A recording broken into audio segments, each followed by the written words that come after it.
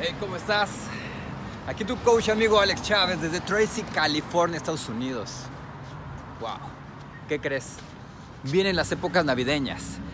Una vez más, viene la época de gasto, viene la época de dejarnos sin nada, nada en el bolsillo.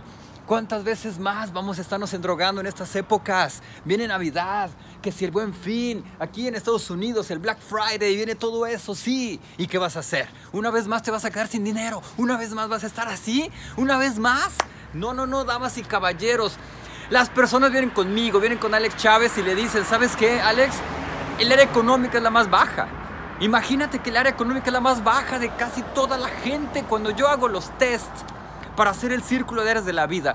Resulta que el área económica es la más baja y sabes, es momento de cambiar eso. Porque no puede ser así. No puede ser así, ya viene la época y sabes qué? La televisión, el radio, las personas te van a vender el hecho de que gastes y gastes y gastes y gastes dinero y eso no, no funciona, no sirve. No sirve para tu familia, Tú quieres libertad financiera, pero ahí estás en el buen fin comprando la pantalla plana que tanto querías. Ahí estás regalándole a medio mundo porque te sientes comprometido con ese sentimiento de tener que darle a, los seres queridos lo que no les diste en todo un año. Eso no funciona. Entonces, ¿qué es lo que vas a hacer en esta época para que puedas realmente salvar tu economía? ¿Por qué? Porque la escuela nunca nos enseñó, sí, nunca nos enseñó a tener inteligencia financiera. No nos enseñó cómo manejar el dinero, no nos enseñó las cuatro leyes de la riqueza.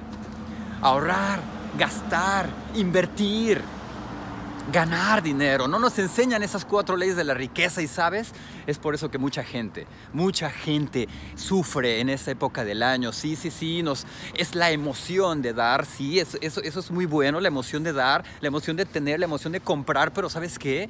Finalmente llega la cuesta de enero, llega enero y no tienes nada, llega enero y estás tronándote los malditos dedos diciendo qué es lo que voy a hacer ahora. Y muchas veces estás pagando gastos del año pasado, que te endrogaste.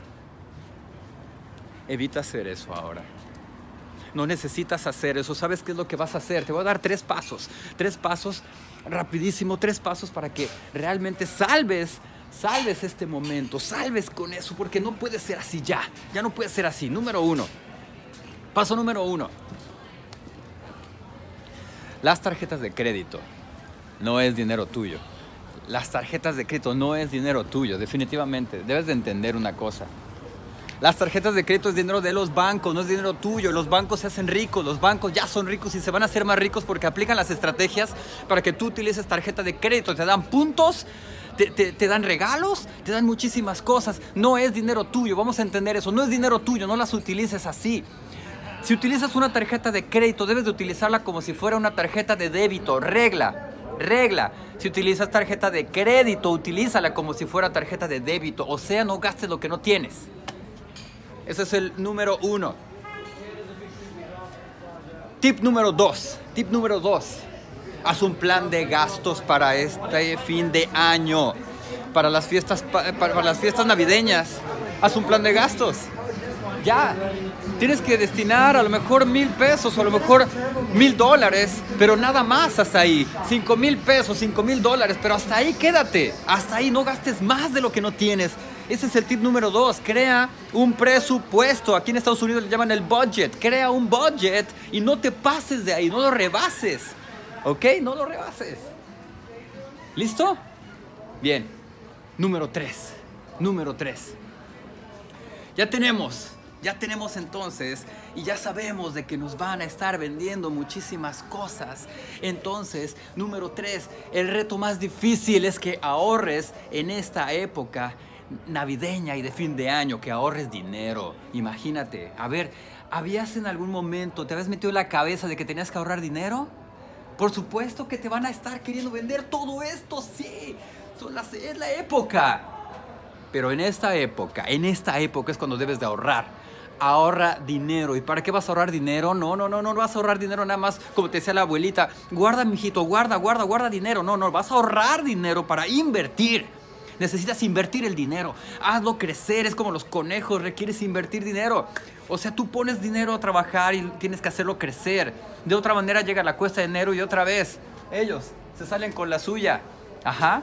Sí, todos los escaparates hermosos, todo esto siempre va a estar ahí a la orden del día, en la televisión, en el radio, en todos lados. Mira, escaparates hermosos, en donde llega enero y tú te vas a estar tronando los dedos. No, esta vez vas a hacer algo diferente. Utiliza esos tres pasos porque es para ti, para tu familia, es para tu futuro.